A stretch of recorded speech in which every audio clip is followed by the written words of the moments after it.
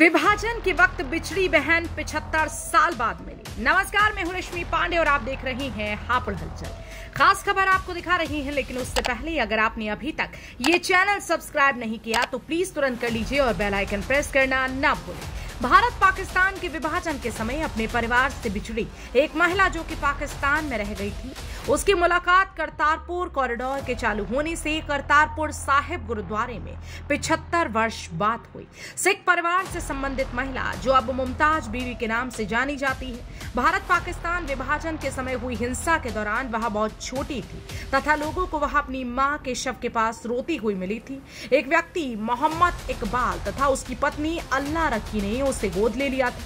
दो वर्ष पहले जब मोहम्मद इकबाल की सेहत अचानक से खराब हुई, तब उन्होंने बताया कि वह उनकी बेटी नहीं, बल्कि किसी सिख परिवार से संबंधित है।